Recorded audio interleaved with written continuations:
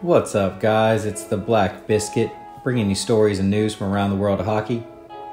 Now, I've played hockey for 24 years, since I was 8 years old, and from youth to junior to college, and I truly think it's the greatest game on earth. Growing up as a black kid from Southern California, I had the unique perspective of being somewhat of an outsider when it came to the game of hockey. Uh, but I truly have met the most amazing people. Two out of the five guys that were part of my my groomsmen party at our wedding a few years ago, I met through hockey. My greatest friends along the way, and I've had some awesome experiences and some not so great experiences all come to me through the sport. But I think hockey's really shaped who I am as a person. So, you know, throughout the course of the year in the NHL, there's been a couple of stories that have popped up, most notably the Akim Aliu, Bill Peters situation. And it kind of brings up something that isn't really talked about much, because quite frankly, there aren't many guys of color to join the conversation. But uh, let's talk about racing hockey, specifically the NHL. So, in hockey, we already know that there aren't many players of color. In fact, I think the last stat I saw was there were 30 players of color or so in the league. So, roughly, that boils down to what, a little bit less than one per team. And as an American myself, uh, you know, even fewer than those are African American players. I think there's literally less than uh, five African American players in the league right now. So, less players of color means that there's less fans of color. You know, a, a young black or brown kid growing up um, you take a look at a basketball court versus a look at an ice rink, and you know you see there's oh there's no one who looks like me over here, but everyone who looks like me is having fun over here. So I guess I'll I'll go that way. You know, I used to work at a local rink when I was in high school as a skate attendant, and you know, kind of a skate guard out there during public sessions. Pretty fun job. But um, I remember a black kid who was there on a field trip to the rink one time. I was kind of asking him why he doesn't get into hockey or what he thinks about hockey uh, and he says in a farmer's accent, no less, only thing black in hockey is the puck. So, I mean, that's kind of the idea we have about hockey, right? When it comes to it. So, do I think that the race issue in hockey needs to be talked about? I think yeah, because it's only going to help hockey in the future. And you know, there was a couple situations this year, as I mentioned, that kind of helped get that conversation started. Uh, Vander Kane was pretty loud during the off season about some of his thoughts and how um, people were perceived. I think in, in particular, he showed a, a picture of, I can't remember who, but uh, someone in the NBA flashing a stack of money before he walked onto a, a private jet. And he kind of drew the comparison of, well, you know, why did I get so much flack for when I did this from the hockey culture and this guy doesn't get any from the basketball culture? And he had a caption of, you know, same race, different sport or something like that. And he kind of started stirring the pot there and then during the preseason, there were some insensitive comments during a, a game. I think it was Blackhawks versus someone else, but it was about Austin Ortega. Uh, shout out to another SoCal kid there. But uh, I know he was he held the puck in the zone or something, and the announcer mentions Austin Ortega. It sounds like he should be a shortstop.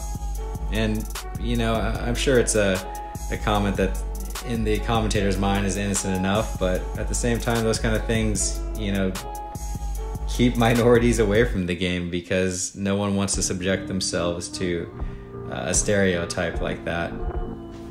And when it comes to entering hockey or approaching the game as an outsider, it's not like I was walking into a KKK rally every day when I went to the locker room. And I'll be the first person to say, um, of course, that some of my closest friends are from the game of hockey.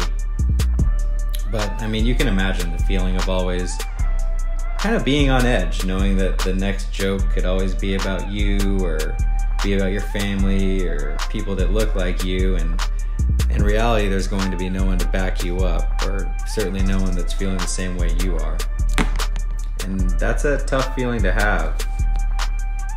And what Bill Peters did, uh, that Akim Aliu brought to light a bit earlier this year, was was really make that a reality for for Akim, and um, you know that's that kind of stuff's got to go from the game.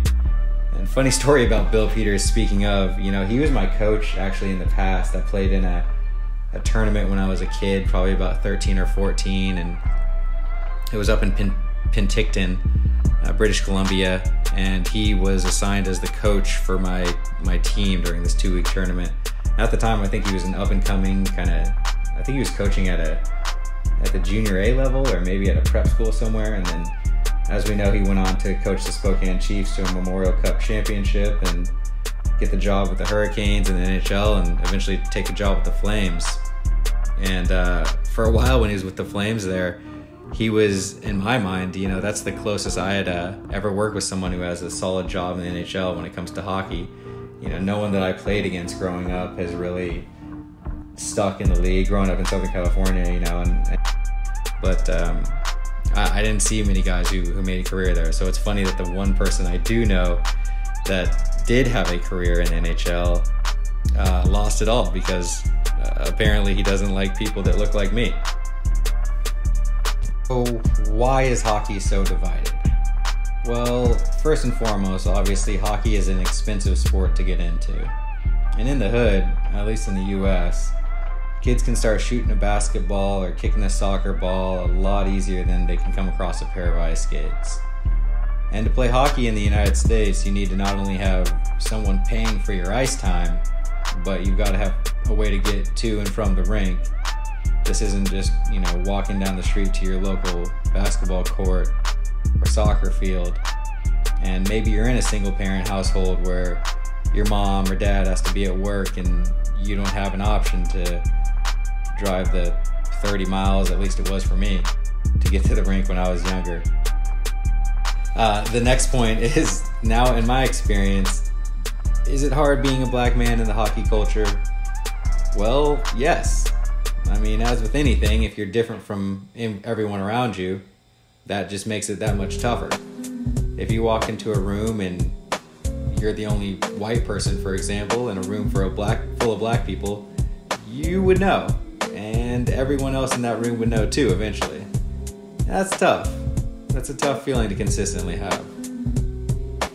But I mean, my personal thoughts are again, this coming from a black man who's played hockey his whole life. That feeling I described earlier is a tough one to have. But hockey is honestly the greatest sport in the world, and the best and worst experiences in my life have come from playing this sport. And if I could go back, I wouldn't change anything. It means so much to the person that I am today. And I still try to skate three or four times if I can a week. But um, it's because all of this that I, I truly think it's a shame that hockey isn't more diverse and there aren't more kids aware of this amazing life that may be ahead of them if they strap on the skates the sport of hockey has allowed me to travel to so many different places I would have never gone, and I've met so many people that I otherwise would have never met. But through it all, I think what I've really learned, the important lesson here is that no matter where we're from or how different our upbringings may be, we're all after the same goal in life. And that's happiness for ourselves, for our friends, and for our family. And aside from that, nothing else really matters.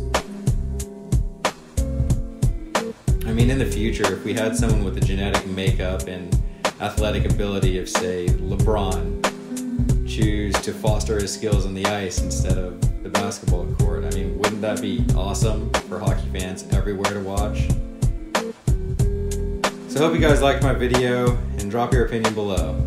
Let's have a discussion about it. Peace.